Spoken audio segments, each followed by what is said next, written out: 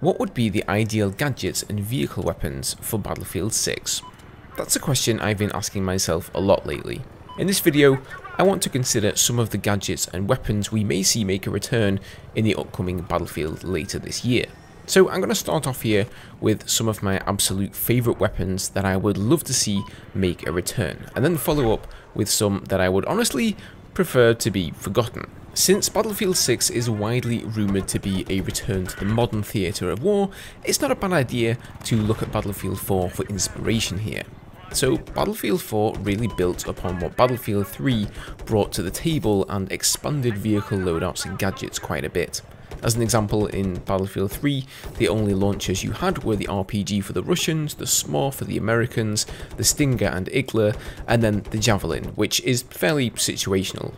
In Battlefield 4, they added the MBT LAW, which is the noob friendliest of the launchers. It basically auto-locks your target and does a top-down attack, but at reduced damage. And then on the other end of the spectrum, they added the wire-guided SRAW launcher, which acts as an infantry portable wire-guided TOW launcher, which, you know, takes a lot of skill to use, but if you can connect with an attack heli or a jet, it's a one-shot kill, so it can also be very rewarding. So in my mind, the more skill-based weapons in Battlefield are the ones that really provide some of those real battlefield moments. The TOW missile is a great example. It's been around since Battlefield 2 and it should definitely be in Battlefield 6. For those who don't know, this thing follows your crosshair wherever you aim, so you have to constantly keep track of both your target, but also where your missile is and effectively thread the needle. And if you can manage to do that, it will one-shot most air vehicles. Now, I'm not particularly skilled with TOW missiles, but the further away, and of course the smaller the target is, as I'm sure you can guess, the harder it becomes. So this weapon really makes for some fantastic plays. Another one of those weapons for me is the TV missile. Please, DICE, bring back the TV. With this one, you actually become the missile, and I mean, come on, it's just cool, man. Who doesn't love remote controlling a missile and having it connect with your target up close and personal?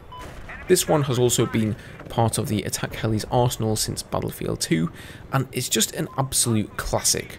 We've all seen some insane TV missiles where people bob and weave between obstacles before finally colliding with their target and getting that kill, and you know, it really just makes for some great gaming moments. Maybe fix the weird bug where it blows up your attack helicopter from time to time, or clips through the entire map, but yeah, I would love to see the TV missile return. Next up we have the JDAM bomb. Now it doesn't necessarily have to be called the JDAM bomb, it's basically just a dumbfire bomb in Battlefield, and it pretty much does what it says on the tin. You drop it from your attack jet, and if it hits its target, it does a bunch of damage. So maybe not quite as fancy as the TOW missile or the TV, but the long time to target coupled with the high damage and again the fact that it can one-shot most air vehicles really makes the JDAM one of those skill weapons. Believe me, if you JDAM a helicopter or even better, an enemy jet in mid-air, it's just one of those moments you'll always remember. Okay, moving on, we have the Humble RPG and the SMAW. As long as it's a straight shot, unguided missile or projectile, I think it will always have a place in Battlefield. It's always nice to land those RPGs and SMAWs on moving targets, generally anything with a travel time where you have to predict the movement of your enemy is going to be a fairly skillful weapon. I would also mention that the, the SRAW or the SRAW was, in my opinion, a great inclusion in Battlefield 4 for the same reasons as the TOW missile, so hopefully we see that one return for the engineer class as well. Alright, moving on. Let's talk about some of the worst gadgets and weapons that either need to be reworked or simply removed altogether. Do bear in mind, of course, this is only my opinion. First up, active radar and passive radar missiles. Oh boy, where do I start with these? So in this footage here, I'm using active radar missiles. For those who don't know, active radar missiles don't need to be locked on like heat seekers.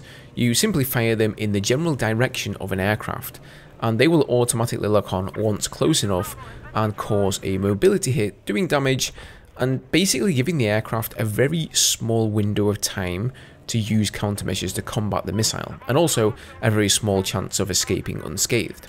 For the record, I don't really mind lock-on systems per se, like heat seekers and stingers. Not everybody can be a TOW missile hero, and you know, some people prefer to use a lock-on system that's more reliable to take down enemy vehicles, and I think that's fine. But in this case, it needs to be considerably less effective than the more skillful weapons. The less skill a weapon requires, the less effective it should be, or at least I think so. With active radar missiles, that simply isn't the case. They're extremely easy to use and extremely effective.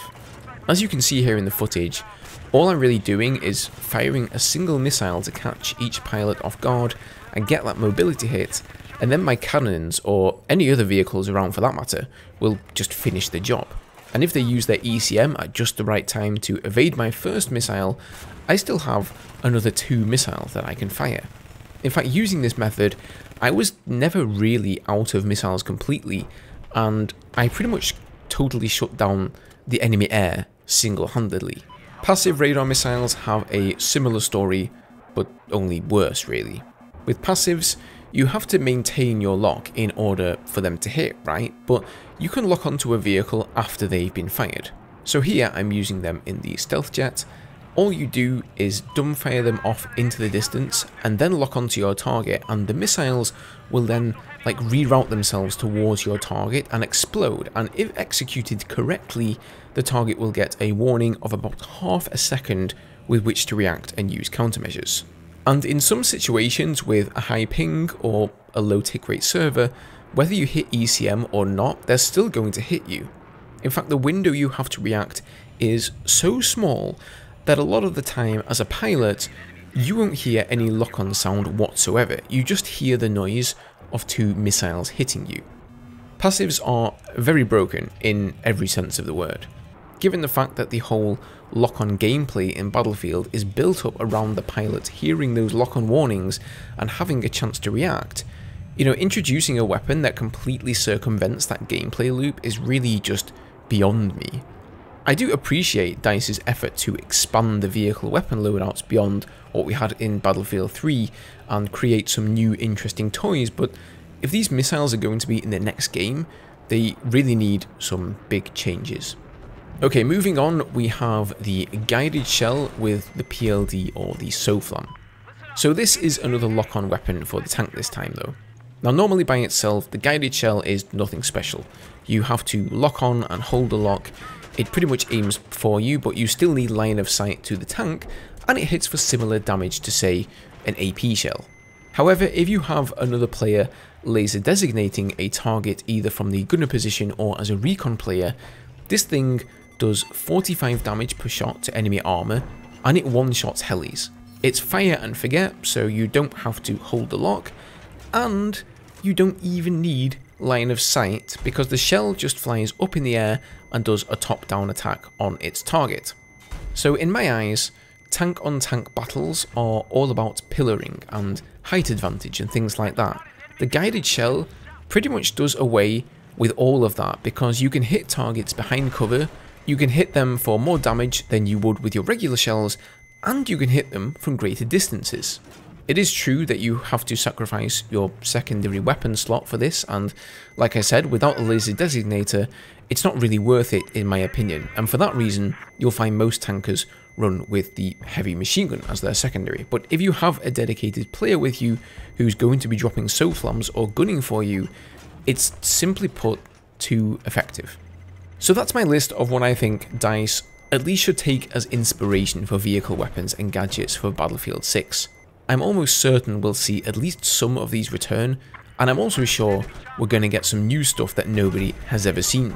In fact, at this point, DICE are probably way past the point where they would go adding new gadgets and weapons into the game and messing around with the balance, so I suppose you could argue that I just wasted my breath really. But balance is, after all, an ever-changing issue, and Battlefield games rarely look the same on release as they do a few years down the line. Hopefully this time around, the balance is going to be solid. Let me know your thoughts down below guys, would you agree on my choices for vehicle weapons and gadgets, and if not, let me know why not. Also, What new weapons and vehicles would you like to see in the new game, and if not upon release, perhaps in DLC down the line? Put all of that down below. Thank you guys ever so much for watching. Hit that like button if you did enjoy. Subscribe for more Battlefield 6, and I'll see you next time. Cheers.